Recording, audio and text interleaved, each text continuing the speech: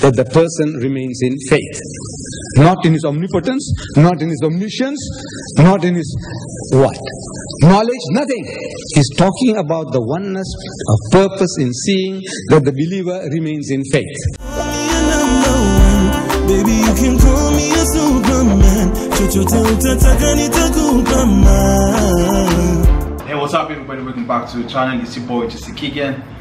So, uh, I want to thank everybody who's been subscribing to the channel. You're the real MVP, man. And I want to thank the people who are out there and uh, they've been able to give us a reaction video, man. You're the real MVP, man. Thank you, thank you so much. So, right about now, a lot of people suggested that we should. A lot of people suggested that uh, we should go react to this video right here, and this for and this video is uh, Deedat at his best part eight we did like from part one to seven or something like that and recently we also did part 10 and the feedback was really amazing and people actually suggest that we should go more like we should do more of dad videos and stuff like that and we were like okay yeah fine we're gonna do more of those videos. So without any wasting time guys this video was suggested by a lot of people. So let's get it let's get it let's see what Deedat has to say on part 8 so without any further ado guys let's get it Uh, yesterday you said it was different between numbers, and uh, uh, Jesus said that me and the Father we are one. Is the first I will say, and uh, today you said that you respect Jesus, you love Jesus, and you believe what he said. And uh, I want, please, Mrs. Stan, if you can read one word from the Bible. I think it's Johannes 16. Ingen kan komma till Fadern utom genom mig. No one can come to the Father except through me. This is what Jesus said. Yes, I wanted you wanted to know what Jesus had said, and I will tell you that. Your question, please. Uh, I will repeat what I understood that uh, with regards to the divinity of Christ, that Jesus is God, I was asking the pastor to give me an unequivocal, unambiguous statement by Jesus that I am God, worship me. And thank God he didn't succeed. But now the lady, very fairly, she's asking a question, if I understood it correctly, that Jesus did say, I and my Father are one. That was the first statement. Was it? Where's the lady? She's, I and my Father are one. Now, it implies that if he is one with God, then he is God. That is what it sees, seen on the face of it. I says, you know, sister or pastor, this quotation is in John chapter 10, verse 30. 1030. Where Jesus says, I and my Father are one. He said that. I'm asking, what is the context? And believe me, I have asked DDs and priests and reverends and pastors and predicants. I'm asking, what is the context? Meaning, in what sense did he say that? And in the past 40 years, I haven't come across a single learned Christian who, without opening the book, can give me the context. He has not been able to give yet. What is the context? So if you see it in the context, it's not what you're thinking. In the context, we must see verses, not take them out from the context and say, look, the man said this. In what sense did he say? What was he trying to explain? So in the context, I said, start with John 23, 10 23. And you read there, it says, and Jesus walked in Solomon's porch, meaning in the temple of Jerusalem. Then came the Jews round about him, meaning they surrounded him, and said, brandishing a finger in his face, How long does thou make us to doubt? If, thee, if thou be the Christ, tell us plainly. Insinuating, alleging that he's talking ambiguously. If thou be the Christ, tell us plainly. So Jesus says, I told you, and ye believe not. The works that I do in my Father's name, they bear witness of me. My sheep hear my voice, and I know them, and they follow me, and I give unto them eternal life, and they shall never perish. My Father, which gave them me, is greater than all, and no man is able to pluck them out of my Father's hand. Neither, verse, that was verse 28. Verse 29, neither shall any man pluck them out of my hand. I and my Father are one. This is the context. In other words, if once a person accepts faith, God sees to it that the person remains in faith, and I, as a teacher, as a master, as a, a, a, I see to it that the person remains in faith. We are one in this to see that the person remains in faith. Not in his omnipotence, not in his omniscience, not in his what? Knowledge, nothing. He's talking about the oneness of purpose in seeing that the believer remains in faith. But the Jews were looking for trouble. And when you are looking for trouble, you find it around the corner. You don't have to go very far.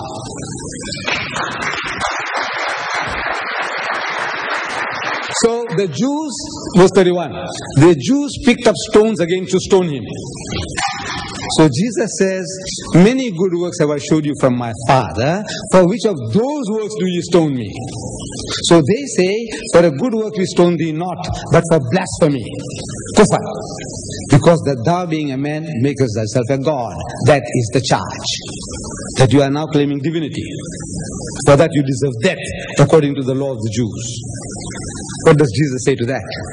If he was God, he has an opportunity to say, Look, if I am God, what else can I say? He asked me, Are you Muslim? I, I said, Look, I'm a Muslim. I have to say I'm a Muslim. I don't know what you're going to do with that now. What are you going to do to me? But you say, Are you a Muslim? I say, I'm a Muslim. If Jesus is God, then he should say, If I am God, what else can I say? But he didn't say anything like that. He said, Is it not written in your law? He's sarcastic. The law means the Torah, the first five books of Moses Genesis, Exodus, Leviticus, Numbers, and Deuteronomy. Is it not written in your law? I said, Ye are gods. In other words, he's quoting from the 82nd Psalm. The pastor has already made reference to it. From the 82nd Psalm, he said, I said, Ye are gods. It's a quotation. If he, God Almighty, called them gods, unto whom the word of God came, means the prophets are called gods in our scripture. This is our language. This is how we talk. Like in a court of law, in an English court, they say, me lord, me lord? Like in a court of law, in an English court, they say, me lord, me lord, who? The magistrate, the judge. He say, me lord, me lord, my lord, my lord, is your lord, is he your God. No, no, this is your language. You talk like that out of the say, me lord, me lord means my lord, my lord. You don't mean God. That's your language. In South Africa, the word for God is hearer, hot, and hearer. The Lord, hearer. Ek, ek is the hearer. I, I am God. And you go to Cape Town or any other place in the cities and you find there, it says there, signs, when you go to the toilets, it says Dama, hearer. Dama means dames, ladies, and hearer means men, gentlemen. But at one stage I didn't know that hearer means gentlemen. I had learned it from the Bible that hearer means God, Lord. So I'm seeing Dama, I guess it must be dames, ladies. But hearer,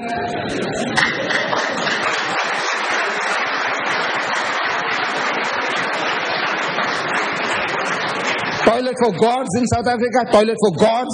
No, there are no toilets for gods. Gods don't go to toilets. But this is the language. So Jesus is telling, look, in our language, people are called gods, and you find no fault with that. Why are you finding fault with me when I say I'm the Son of God, which is a lesser expression than calling a person a God? Moses is called a God. The devil is called a God in the Bible. And the Jews are called gods, that ye are the ch- children of God and the children of the Most High. Ye are gods and the children of the Most High, 82nd Psalm. So, in other words, this is our language. We talk like that. The godly person, we say he's a God. It doesn't mean God, he's a godly. God, instead of saying godly, it's a God. This is our language. Why are you trying to find fault with me?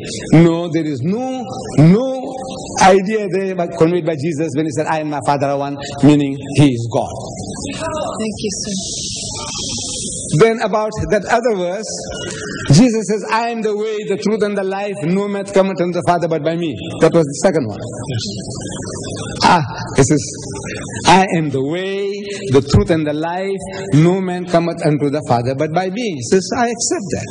You see, Jesus Christ, what you when you read that, I think it's John chapter 14, start from verse chapter 13 and you read there, and each and every expression the Jews misunderstood.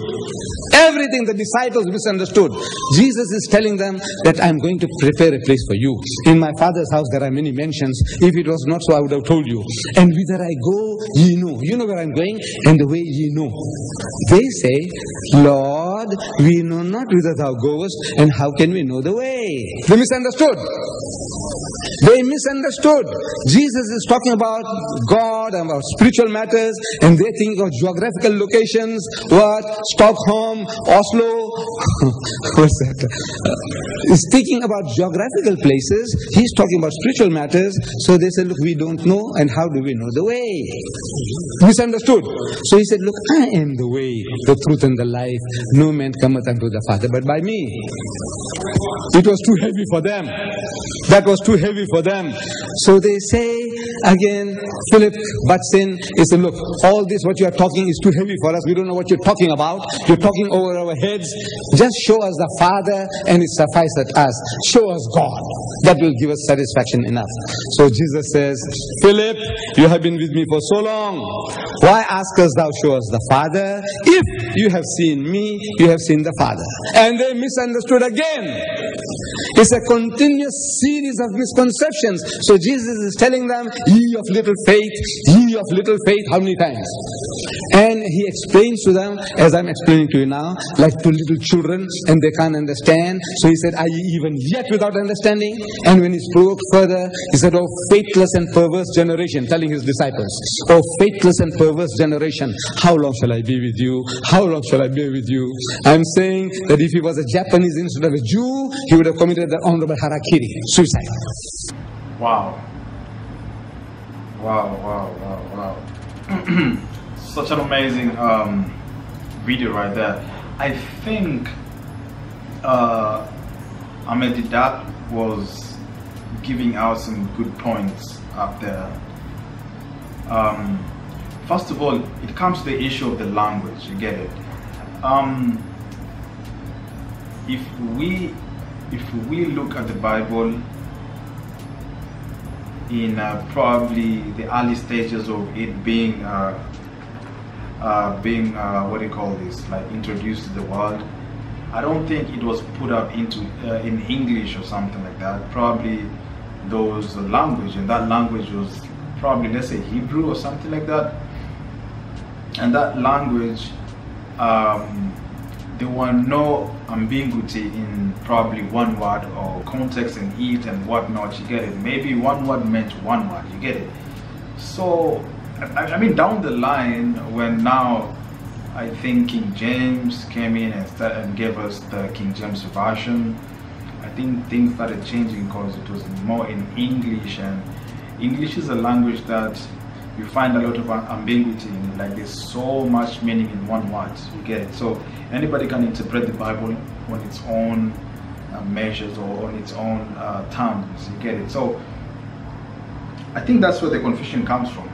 What Deedat was trying to say was that uh, Jesus never said by himself that he is God and you people should worship me.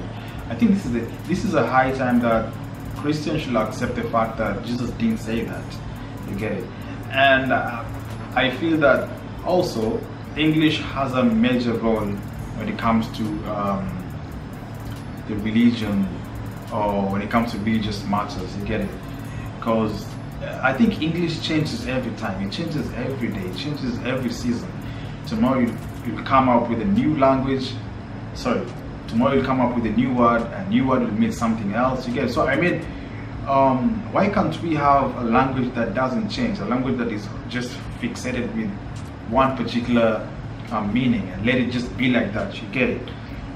Like for example, the Muslims, you know, Allah doesn't. It means God. You get it? Uh, in English, when we talk about God, there is the God with the small g and there's God with the big G. So which kind of God are you talking about? Now, when you say, like I'm talking to you and I say I believe in God, what kind of God are you talking about? Get it? That's where the confusion is. I mean, maybe if you go and emphasize more, you say like I'm talking, I'm talking to the God, probably that would make sense. That would make people believe that you're talking to that one God. But if you just say like I'm worshiping God, uh, I mean there is so much. Not unless you put it into uh, paper and then you clarify that this is the God that I'm talking about, the God, the God with the double G. I think the problem is the uppercase and the lower cases. Who came up with this language anyway? But anyway, Deedat really answer it in a very, very, very, very smartest way. And I really, really liked how put things together and everything he explained was just amazing, super amazing. Such an amazing guy, such a brilliant guy. Now, um, another thing is that um, I was kind of uh, trying to do research and I, I stumbled upon a research and it says that the Bible was revised 11 times. Like 11 times. The Bible was revised 11 times. That makes you think about it like there's a lot of misconception about things that we see today. There's a lot of confusion. Literally, people are confused on what to, you know, what to listen, what to follow, and what to actually uh, internalize in their mind or understand. Because you go to this point, it says this, and the other side it says that. But now, who are we to blame? Are we blaming? Should we blame ourselves, or should we blame the people who actually uh, started altering the Bible or altering the religious books and stuff like that? Anywho, um, Deedat actually explain things very well and it's well ex- explanatory through him that he was able to uh, answer the questions and i believe that the Confucius comes in with the language just as he was saying the language is the problem here. It's the language that we choose to use is the one that is confusing our people they get it. Because we choose to use english and english is a is a language with a lot of confusion they get it. Like you can play around with English and I mean there's so much in there. Anyway guys, if you feel like I reacted to this video in a better way, just give me a thumbs up and don't forget to go down my comment section and tell me exactly what you feel about our reaction. What do you feel about my reaction? What do you feel about this video right here? Ahmed Deedat at its best part 8.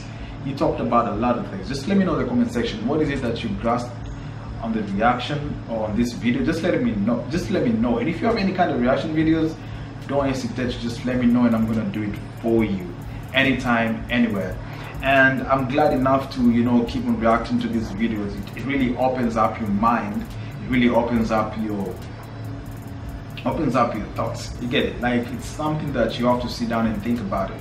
Anyway it's such an amazing time to live in.